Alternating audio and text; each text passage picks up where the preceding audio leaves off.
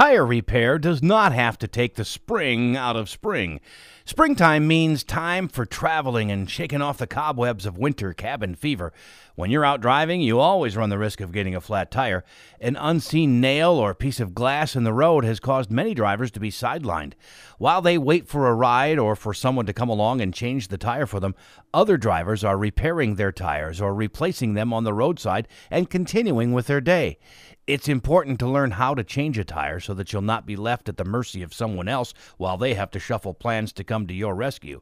For a woman with children, it would be very important because the less time that your children are stranded and exposed in the wet, cool spring weather, the safer and healthier they and you will be.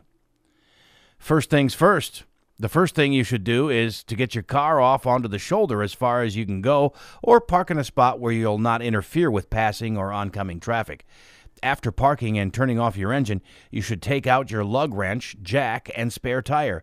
Make sure that your spare tire is properly inflated or is not damaged in any way.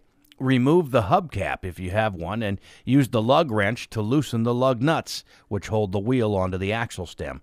After you've loosened the nuts, put the jack underneath the car in the appropriate spot and slowly jack the car up until the tire is suspended above the ground. Do not raise the jack too high or the car will tilt over. Just raise it enough to get the tire off without scraping it on the ground as you pull it off. Next thing's next. After you have the nuts loosened and the car jacked up into position, hand loosen the lug nuts and remove them one by one in a star pattern. Take care that you lay out the lug nuts in the order that you removed them.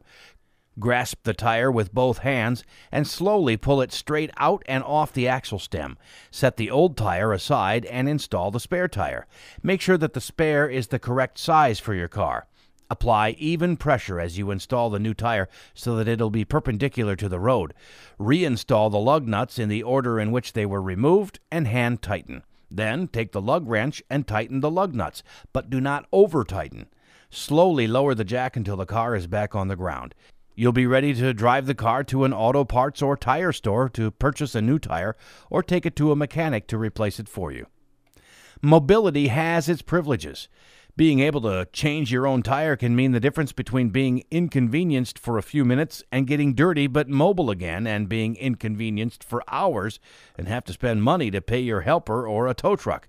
You may be able to purchase a tire repair patch kit from the auto parts store that you can apply to the inside of the tire, or you can buy a canned chemical substance that inflates and seals the hole in your tire so that you can make it to a repair shop.